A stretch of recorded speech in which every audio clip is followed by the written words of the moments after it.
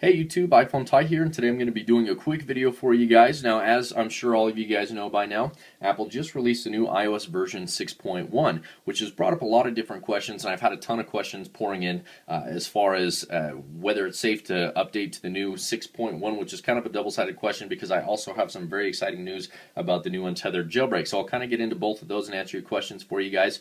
Uh, but first off, like I said, the, the question that I've been getting asked the most is, is it safe for me to update if I'm unlocked with with the GPP sim or the RSIM 7.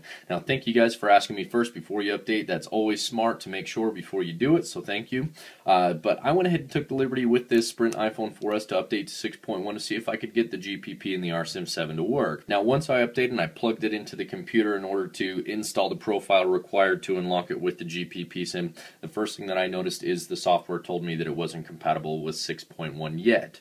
Uh, then I tried the GPP alone without the profile and this was a result that I got here. It just kept going back to Sprint. Unfortunately, it does not work. Now, I don't know if this is because the profile isn't compatible with the phone and it needs the profile for it to work, or if that means that the GPP SIM as it stands now, or the RSIM 7, isn't capable of, of cracking or unlocking the baseband. Uh, but I will keep you guys updated as far as um, the unlock goes and the GPP and the profile and all that and let you know as soon as there's a solution that I know works for you guys and it's safe to update. But if you're unlocked, you need to stay on 6.0 or 6.0.1 or if you're on an iOS 5 version, stay on that if you're using the RSIM 3 or Gevey or whatever.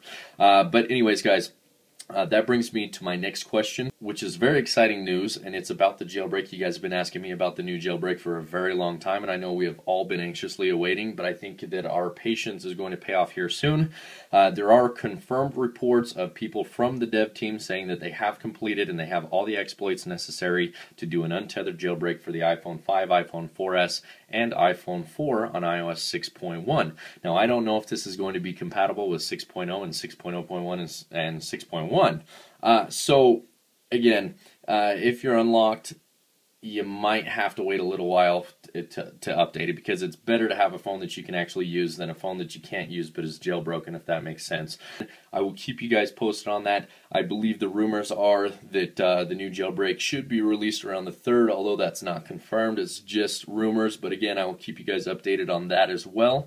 Um, anyways guys if you have any questions for me um, feel free to, to ask in the comments um, or shoot me an email please uh, don't forget to like and subscribe. That helps me out very much, guys. And uh, thank you very much. Have a great day.